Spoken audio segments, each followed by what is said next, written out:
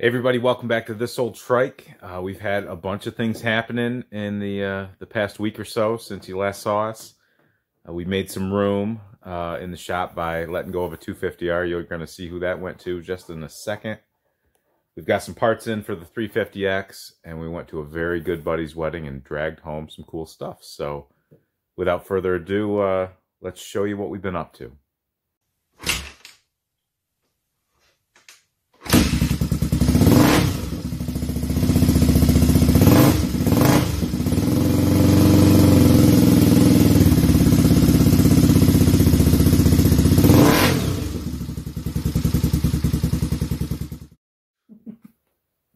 So another one leaves the stable.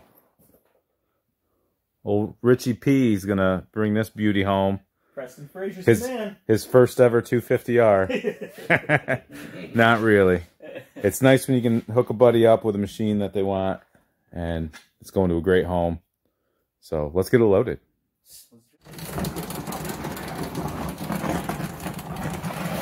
We're losing the snow, which is good. What you guys did a couple inches already? It was about two inches the other day. And I still got a, a car to put away, so I'm I need my driveway so I don't have to spin tires. You need a ramp? You need a hand? Have, have I got to hand this off to my videographer? All right, this is how you load it. This is professional. Yeah, that should be Yep. Ready? This will be great content. There it is. Like that. So the next time we see this, forks will be bent. No, I'm Not far from the truth. Guy yesterday had a Chevy too. I don't know what's wrong with you I people. know. Oh, jeez, Dodge. Oof. It's broke down there. I gotta I get a have tow three truck. of them. I can't. I can't. Wanna put in gear? Here you go. Yeah, throw the gear. Might as well not be rocking back and forth. yeah, no strap needed. No strap needed. That's not going anywhere. There it is. All right, Fixed. we're gonna wrap it up. Take care, gentlemen. They're driving away with the three wheeler? They're backing all the way down the driveway? How many how many three wheelers do we have now? Are we gonna be okay? How many can you can you count the do you know the number? I think we're down to 103 now. Yay. No. Never. What is this? Yeah, I want that fender. well, we'll see what we can do. And that's all she wrote. A little more space in the shop.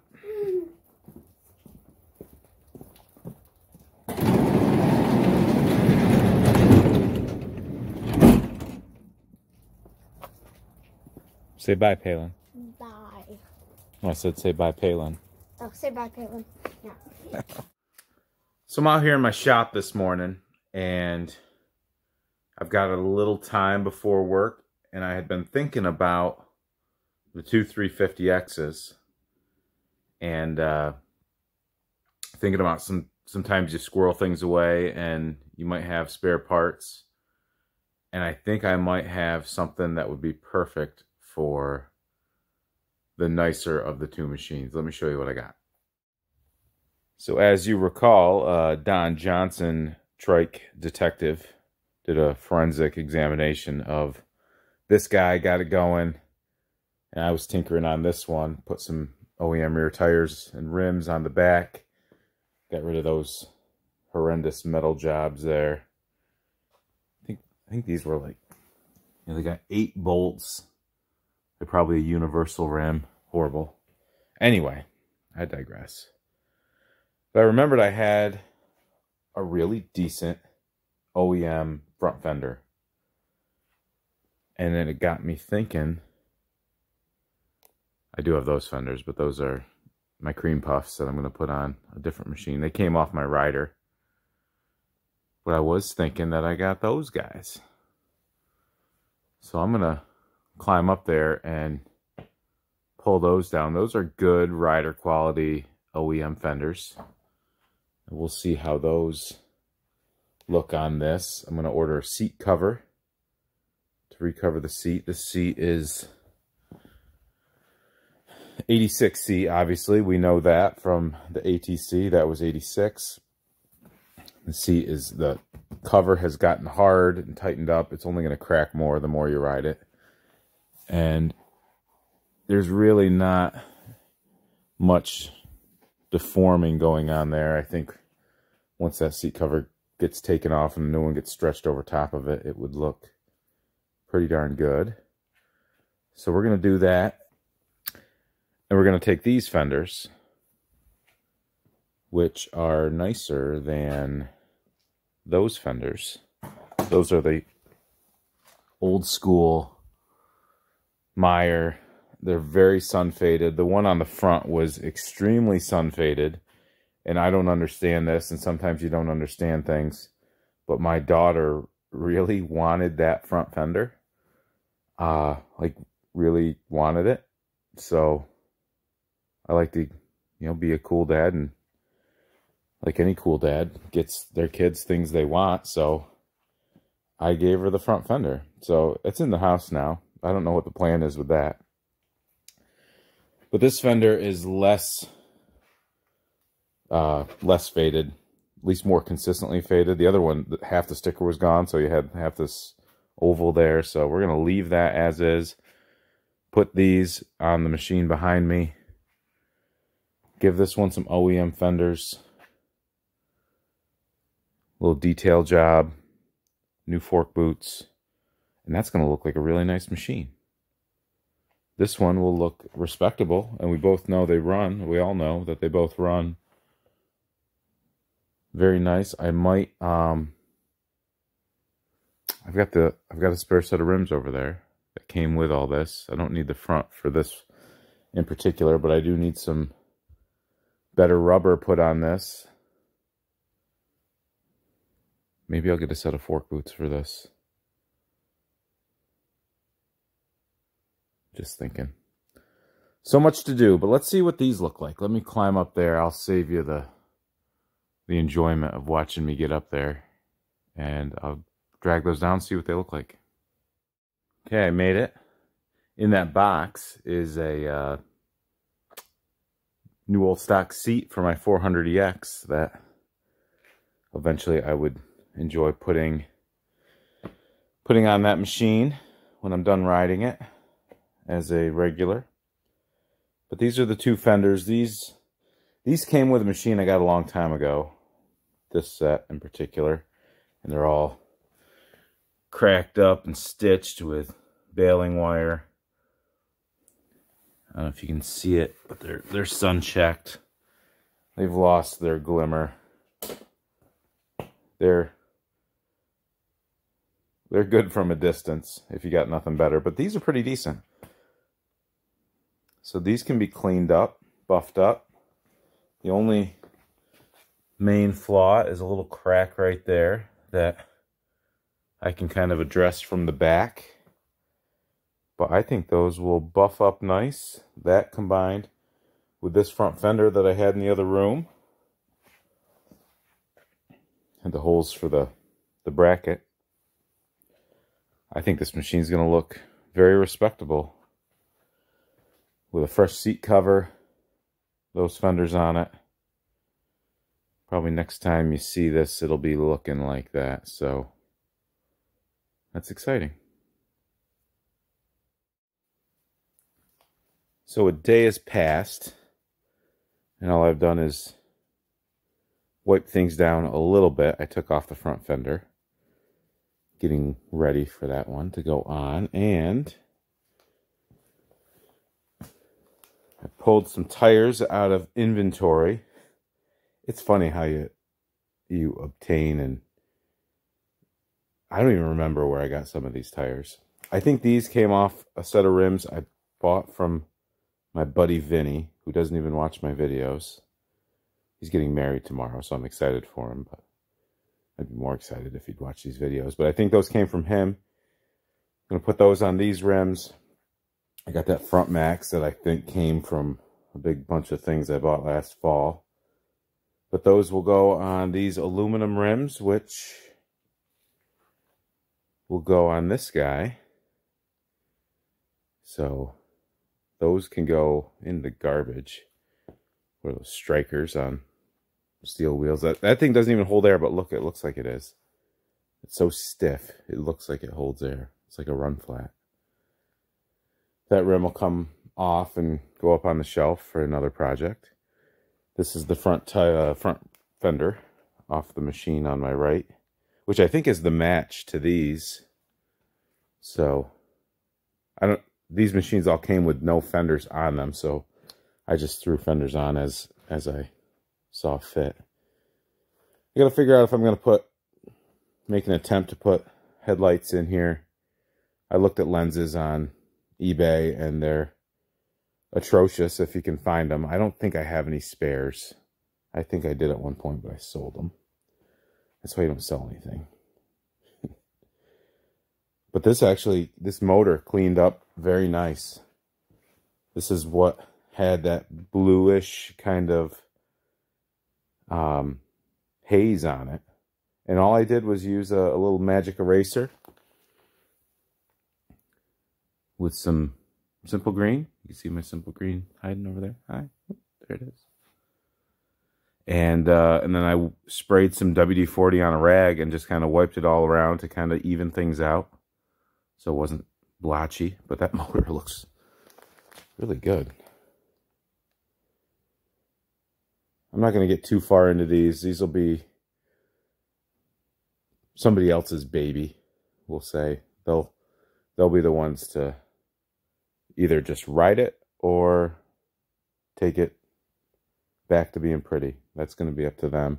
I'm just getting them respectable running and going to send them down the road. My fork boots for this machine are going to come in today, I believe. So maybe over the weekend when I get back from my buddy's wedding, this one might be able to be close to being done. The decals I ordered for the tank came in. So this thing's really close. This thing, I got to drop these tires off to uh, to my shop. Not my shop, but the shop I do all my tire work at. I have a bead breaker. I have tire spoons. Uh, I just, it is a thankless job swapping these tires out. And you can lose an hour on one tire and depending on how you value your time, an hour can be a lot.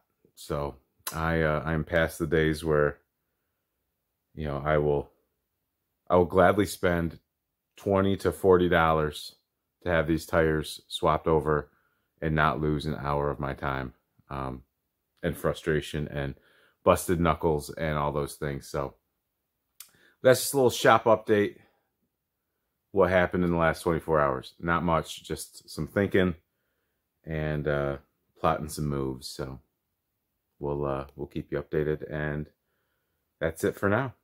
Stay tuned. So today we find ourselves with Miss Palin here, cleaning up the junkier fenders at the moment. So when we put them back on the shelf, they look respectable. I think before we put them on, I'll throw some some wire staples in the back. I don't know that I'm going to deal with that right now, but she's going to get those cleaned up, and then she's going to move on to these. Our tank decals are in, our fork boots are in, so my plan for this moment is to get the fork boots swapped around, put the tank on with the shrouds, get the decals on, and uh, after these fenders are cleaned up, I'll mount those. My seat cover hasn't come in. Not sure what the plan is there, but check in with us in a little bit and you'll see what we've done.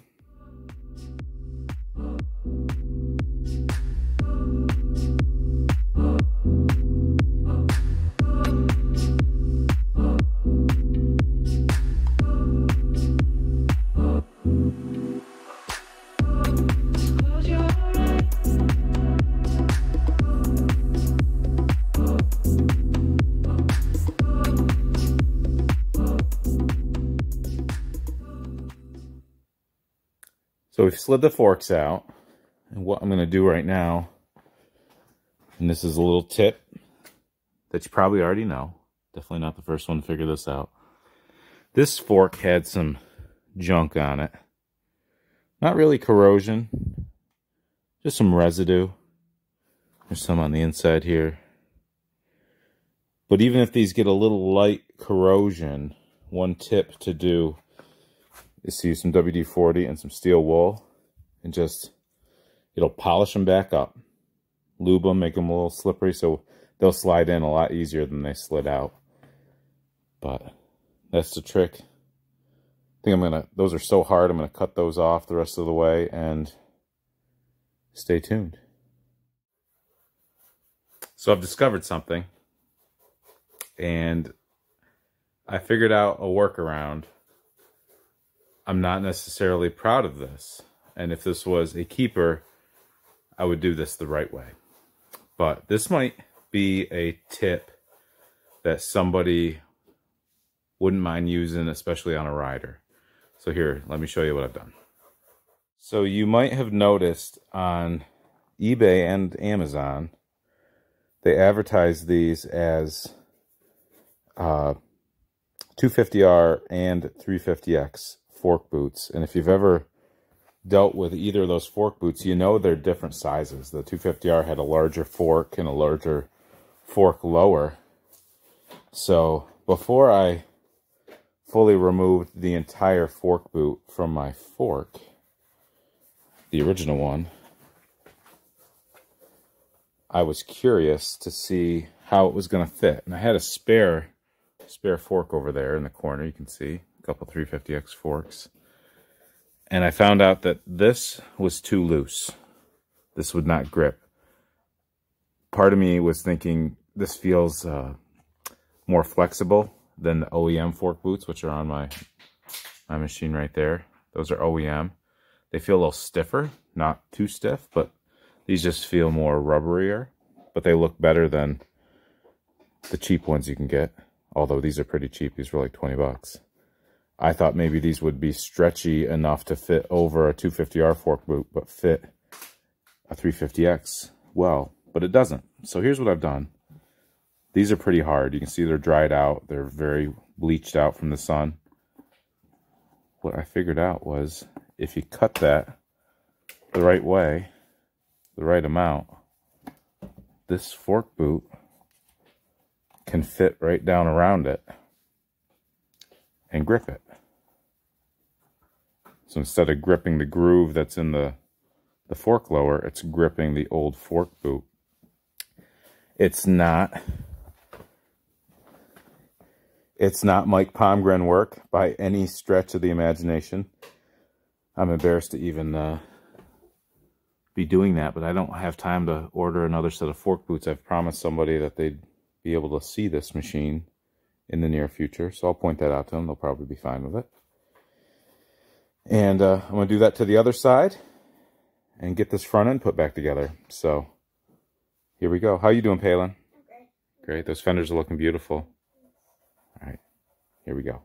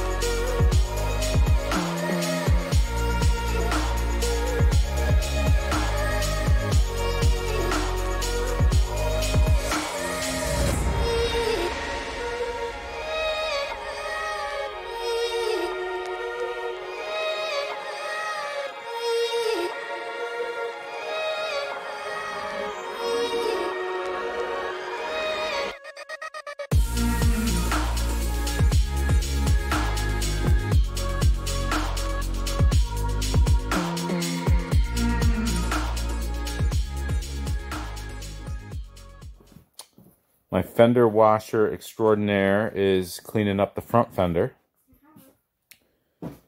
We are ready to mount that. Front forks are back installed. Those boots look in my opinion, a lot better than you know something like this. You know, where you've got to have a, a zip tie down at the bottom and something up top. We were able to preserve the uh, the clamps at the top. Those are gripping on. I've got these stretched nice and they're holding, so I like that. I moved on to the tank shrouds. That one is nice. That's the uh, right side. The left side has a crack, but it's otherwise really nice. So what we're going to try to do, even though this is a thinner plastic than, than the fenders, we're going to try to put one of these wire staples or a few of these in from the back and secure this so it it's stable. Um, it's not going to be invisible but I'd rather have it be a little stable if I can, so we'll see what we can do with that. So this is the kit I picked up. I forget where, if it was Amazon or eBay or something, but pretty simple, just trigger operated. You plug it in, it heats up once you pull the trigger so it doesn't stay hot down here. It came with a variety of heat staples. Some you would use in an angle. That's a very mild crimp there. This is a, a larger crimp. We might try a couple of those. This would be used in a, this next one I'm about to show you. A big plane flying by. So that would be used in a outside corner and then you've got one of these for an inside corner.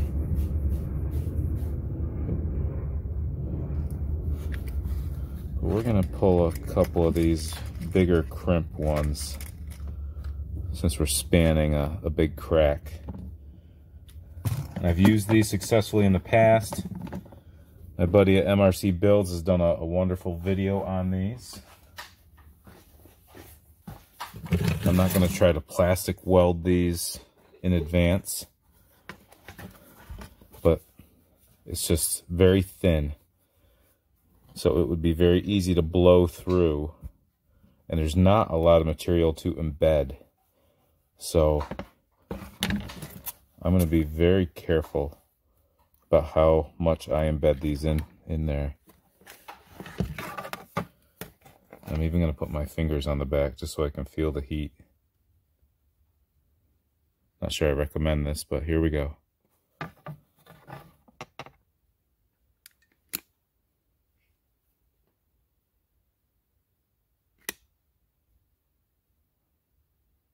That's not very far. It does have grip. I'm letting it cool down.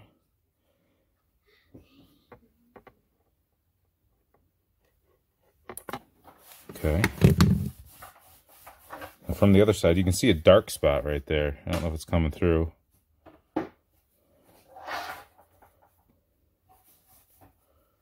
That is held fairly decent. I'm going to try to put one here and then down here.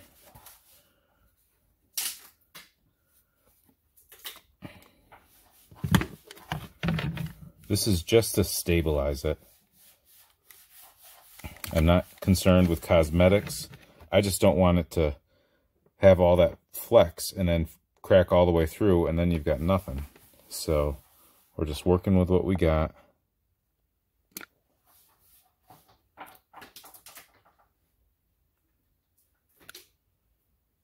Just a slight embed. And you end up clipping those flush. Let this cool just a little bit. Pulls out. If I can get one right next to that mounting point, maybe one on each side because that's going to be held fast there. So that'll extra support there would be beneficial.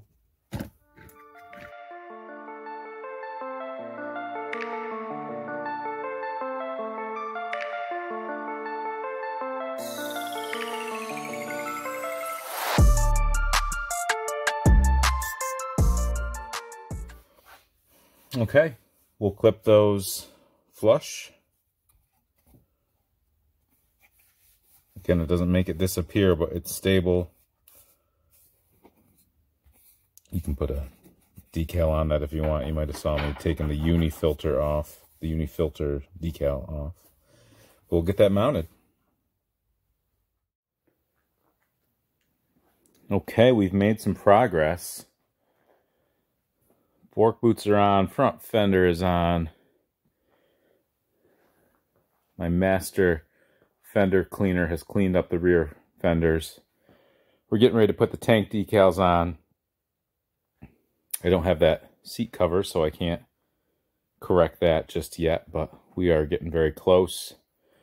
As soon as that comes in and my air filter, this will be ready to rock.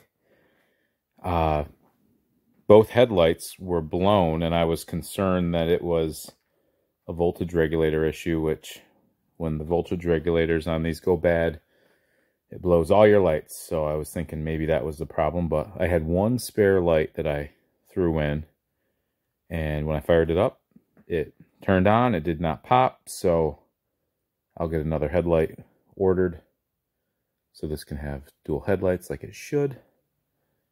And then I've got a buddy who I've given first dibs on it, but if he passes or he wants something a little less, a little easier on the pocketbook, he can have that one, but we'll see.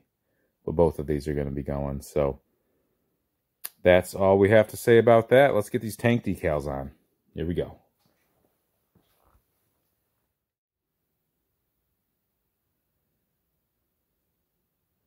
Let's put some decals on. I'm going to transform this whole thing. We got the shop cat out here. My old cat didn't like the shop, but that's our cat Tango. He appears to like what he sees out here, so I'm going to get my camera set up to record me throw these on.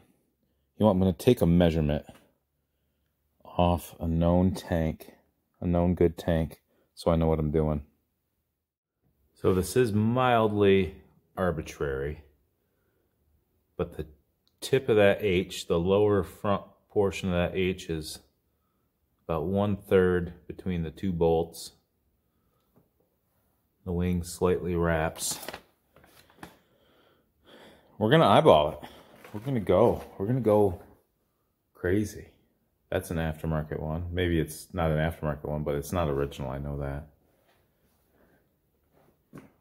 I feel good. I feel good about this. Let's do this.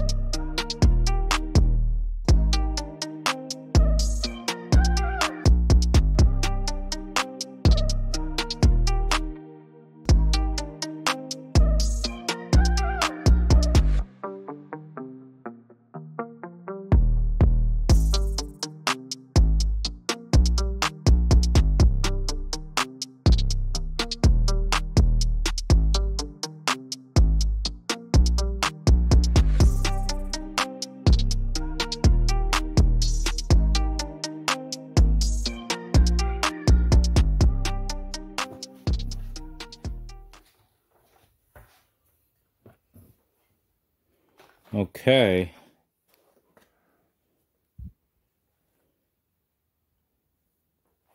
We've done the tank decals. Let me show you what my girl over here is doing. So precise. Honey, I think you're gonna have to push harder. Yeah. Take my hand from it. But these uh, these motors were all kind of oxidized, so the Magic Eraser has enough enough grit, so to speak, to uh, clean up that oxidation. Go right over that exhaust guard too. This? Yep. I did. Okay. Already. Oh, ev- you did everywhere, and it.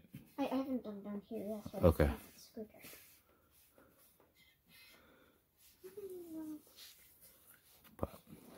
Tank decals look nice. They really make the machine.